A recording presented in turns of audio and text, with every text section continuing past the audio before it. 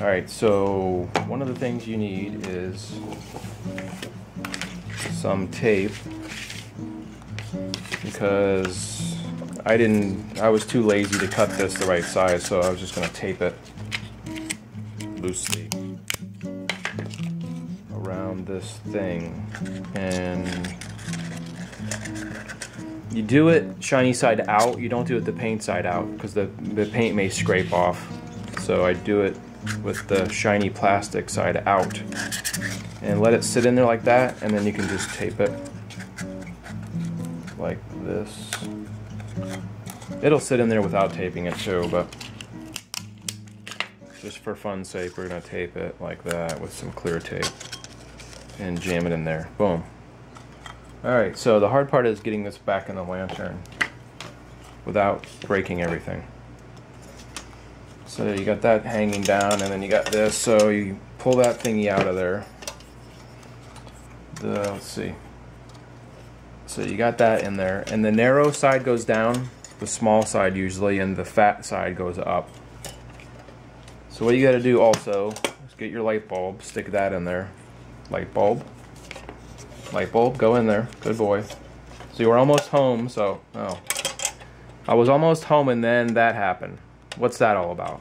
Uh, it'll probably go back back on. For the sake of time, let's just pretend that didn't happen, okay? Everybody pretend that that did not happen. We're just going to be in uh, magic magic land where things like that don't happen, and this is fun. You stick that light bulb in like that, and see how I'm holding this spring up again? Holding that up with all my might, and then pull the cord a little bit so it'll stuff in there.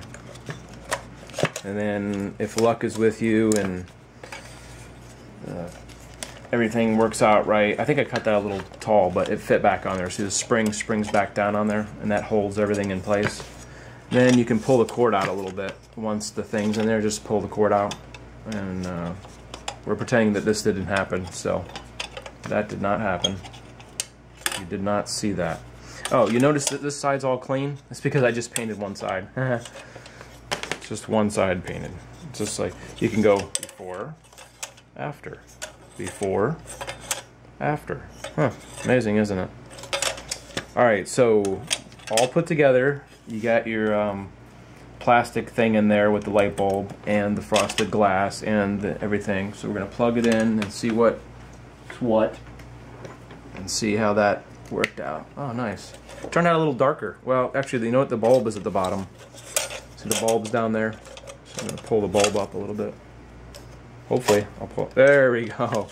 See now the light bulb's at the top. It's still not, you know, it's still not sitting in here right for some reason. I think the plastic's too tall. I messed up. Plastic's too long. But you do see that. Right, so it looks really, it may look really dim right now, right? Maybe. Well, um, you know what? On video, it doesn't show up right because it looks dark to me. But when you turn the lights out, like say it's just sitting on a counter and you don't have this bright light on, it looks just right. You know, it's not too bright. If you want to use it on your shelf, bookshelf, or if you have it outside, it looks cool because it's not.